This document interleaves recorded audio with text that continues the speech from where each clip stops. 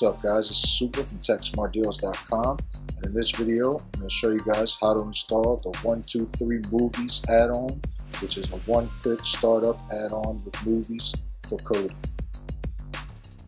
Now let's go ahead and take a look at the 123 Movies add-on and I'd like to thank Mucky Duck for creating the add-on. We really appreciate your hard work. So a huge shout out to Mucky Duck from Supa and the whole Kodi community.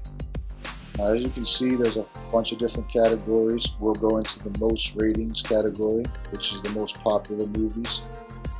And you can see a lot of popular titles that are fairly new We'll go ahead and click on one and show you how it starts right up without having to find any sources, which is a really cool feature. I'm sure a lot of you will like that. And we didn't mention that it's HD. Most of these movies will either be 720p or 1080p. So now let's install 123 movies. So go over to System, File Manager,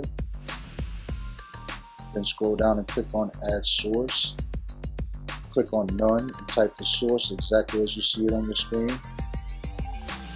Then click on Done when you're finished and click to the bottom and enter a name for the source. Just make sure you put a dot at the front, then click on OK.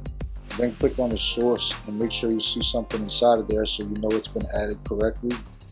Then go into your system settings, add-ons, install from zip file, and go into the Muckies source, which we just added. And then you want to click on repository MD repo.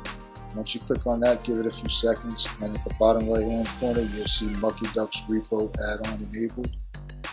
And then go up one spot to install from repository, click on that, and then go into the Mucky Ducks repo. Now you want to go into the video add-on section and click on 123 movies and then click on install. Once again at the bottom right hand corner you'll see add-on enabled. When you see that you can go all the way back to your home screen, go into your video add-on section and enjoy 123 movies. Alright guys, super from TechSmartDeals.com. Please remember to rate, comment, and subscribe. And as always, remember to like and follow at Charged iOS and at TechSmartDeals on Facebook, Twitter, and Instagram. Don't forget to check out the new M8 Reloaded, which has an 8-core 64-bit CPU and is available now at TechSmartDeals.com. Thank you guys for watching. See you in the next one. Peace.